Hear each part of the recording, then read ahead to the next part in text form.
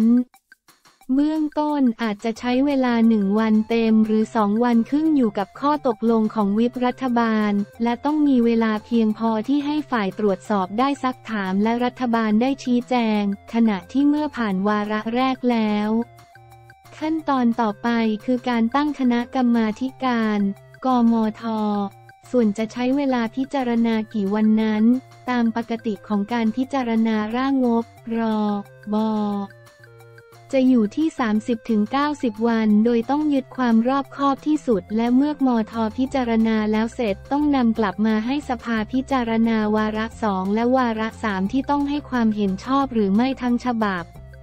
เบื้องต้นตนมั่นใจในความมั่นคงของพรรคร่วมรัฐบาลที่เป็นเสียงข้างมากว่าจะโหวตเห็นชอบ และเมื่อสภาเห็นชอบแล้วต้องส่งไปยังวุฒิสภาพิจารณา นายอดิศรกล่าวด้วยว่าส่วนประเด็นที่ สวบางคนกังวลต่อการออกร่างงบรบดังกล่าว จะขัดต่อกฎหมายวินัยการเงินการคลังหรือรัฐธรรมนูญนั้น ตนเชื่อว่าจะสามารถทำให้คลายกังวลได้ตั้งแต่ชั้นพิจารณาของสภาแล้ว และการพิจารณาของสวนั้นจะไม่ใช้เวลานานไปกว่าที่สภา พิจารณาแต่หากท้ายสุดสวไม่เห็นชอบก็ต้องเข้าสู่กระบวนการของสภา ที่จะยืนยันร่างงบ รอบเงินกู้เป็นกฎหมายต่อไป เมื่อถามว่ากังวลหรือไม่ว่าในตอนท้ายจะถูกยื่นสารรัฐธรรมนูญอีก นายอดิศรกล่าวว่าเป็นสิทธิที่จะมีผู้ยื่นสารรัฐธรรมนูญให้ตรวจสอบได้ เพื่อความละเอียดรอบคอบแม้กฎหมายจะออกมาช้า ตนเชื่อว่าจะไม่กระทบต่อโครงการดิจิทัลวอลเล็ตของรัฐบาลแน่นอน แม้ช่วงนี้จะมีผู้แสดงความเห็นคัดค้าน แต่เชื่อว่าท้ายที่สุดจะเป็นที่ยอมรับร่วมกันได้ เหมือนปี 2544 ช่วงที่จะมีนโยบาย 30 บาทรักษาทุกโรค แม้ในสภาจะโต้เถียงอย่างหนัก แต่สุดท้ายโครงการดังกล่าวก็สามารถเกิดขึ้นได้และใช้อยู่จนถึงปัจจุบัน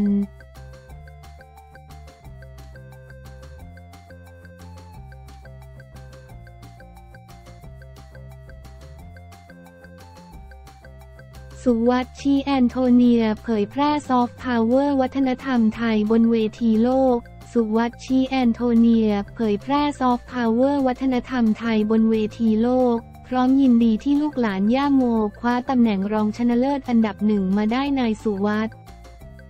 ลิปตพัลลภ ประธานพรรคชาติพัฒนากล้าแสดงความยินดีกับนางสาวแอนโทเนียโพซิ้ว มิสยูนิเวิร์สไทยแลนด์ 2023 ตัวแทนประเทศไทยที่สามารถคว้าตำแหน่งรองชนะเลิศอันดับที่ 1 Miss Universe 2023 ในการประกวดนางงามจักรวาล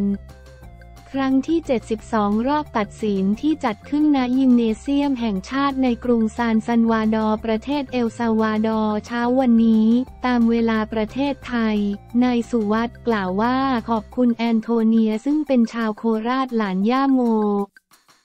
ที่ได้ทำหน้าที่ตัวแทนประเทศไทยอย่างดีที่สุด จนสามารถคว้าตำแหน่งรองชนะเลิศอันดับที่หนึ่งมาครอง นอกจากนี้แอนโทเนียยังได้เผยแพร่ซอฟต์พาวเวอร์วัฒนธรรมไทยที่งดงามโดดเด่นแก่สายตาชาวโลก โดยเฉพาะชุดแต่งกายประจำชาติ เทพธิดาอาณาจักรอยุธยา ที่ได้รับแรงบันดาลจากรูปปั้นพระแม่ธรณีในช่วงยุคสมัยอยุธยาของอาณาจักรสยามที่มีอยู่ในช่วงทศวรรษที่ 14-18 อีกทั้งปีนี้ไปครบ 555 ปีเมืองโคราช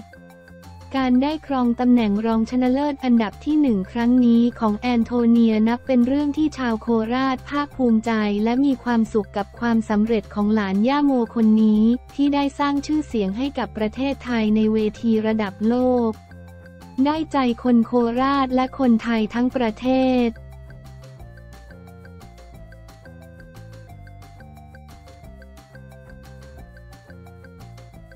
ย้อนคำตอบคว้ามง เชนนิส ปาลาซิออส มิสนิการากัว คว้ามิสยูนิเวิร์ส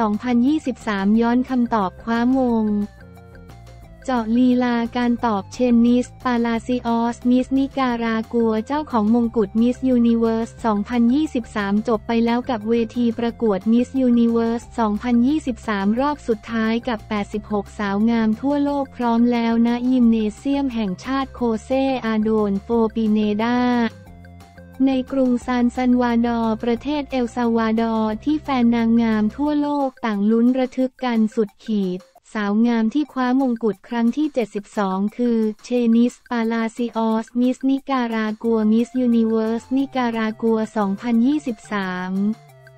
ที่เป็นหนึ่งในตัวเต็งที่อยู่ใน list top 5 ของหลาย ๆ โพแถมยังเป็นสาวนิการากัวคนแรกที่ชนะการประกวดมิสยูนิเวิร์สเชนิสปาลาซิออส คว้ามงกุฎมิสยูนิเวิร์ส 2023ด้วยการตอบคำถามของเธอในช่วงคำถามและคำตอบสุดท้าย ที่ถามว่า ถ้าคุณสามารถมีชีวิตอยู่ได้ในหนึ่งปี หากคุณสามารถมีชีวิตอยู่ได้หนึ่งปี โดยสวมรองเท้าของผู้หญิงอีกคน คุณจะเลือกใครและเพราะเหตุใด โดยเชนิสตอบว่า ฉันจะเลือกแมรี่วูสโตนคราฟแมรี่วูสโตนคราฟเพราะเธอเปิดพื้นที่และให้โอกาสผู้หญิงมากมาย ซึ่งสิ่งที่ฉันอยากจะทำคือฉันอยากให้เปิดทางช่องว่างของรายได้ พื่อให้ผู้หญิงทุกคนสามารถทำงานได้ในมากขึ้นในทุกสถานที่ที่พวกเธอเลือกทำงาน เพราะไม่มีข้อจำกัดสำหรับผู้หญิง นั่นคือปี 1750 ตอนนี้ในปี 2023 เรากำลังสร้างประวัติศาสตร์อีกครั้ง แมรี่ วอลสโตนคราฟต์คือนักเขียนหญิงยุคปฏิวัติฝรั่งเศสผู้ต้องเผชิญกับชะตากรรมเจ็บปวด เธอเป็นนักเฟมินิสต์ต้นแบบหรือ proto-feminist และนักต่อสู้เรียกร้องสิทธิสตรีคนแรกๆของโลก มีผลงานเล่มแรกคือ Mary: A Fiction ในปี 2331 และมีผลงานชิ้นสำคัญและมีอิทธิพลที่สุดของเธอ คือ A Vindication of the Right of Woman ตีพิมพ์ในปี 2335 เป็นเสมือนการทิ้งระเบิดลงกลางสังคมยุโรป ส่วนในคำถามรอบสามคนสุดท้าย เธอได้คำถามว่าคุณสมบัติและค่านิยมใดที่แนะนำให้คุณเป็นผู้นำและเป็นแบบอย่างให้กับผู้อื่น โดยเชนิสตอบว่า คุณสมบัติที่เป็นแรงบันดาลใจให้กับฉัน และเป็นแรงบันดาลใจให้กับผู้หญิงและเด็กผู้หญิงหลายล้านคนคือความอ่อนน้อมถ่อมตนและการสามารถชื่นชมสิ่งเล็กๆ น้อยๆ ทั้งหมดได้ เพราะนั่นคือสิ่งที่มีค่าที่สุด นั่นคือแก่นแท้ของการเป็นมนุษย์เข้าใกล้มง แอนโทเนียเข้ารอบ 10 คนมิสยูนิเวิร์ส 2023 ปังมาก แอนโทเนียโพซิ้วเข้ารอบ 20 คนมิสยูนิเวิร์ส 2023 top 5 ไม่พลิกโผแอนโทเนียโพซิ้วเดินสับสับเขย่าจักรวาลลุ้นคว้ามงสามทำดีที่สุดแล้ว แอนโทเนียโพซิ้วได้รองอันดับหนึ่งชวดมงมิสยูนิเวิร์ส 2023 ใกล้โค้งสุดท้าย แอนโทเนียโพซิลเข้าท็อป 3 เตรียมลุ้นมงสามฝากคนไทย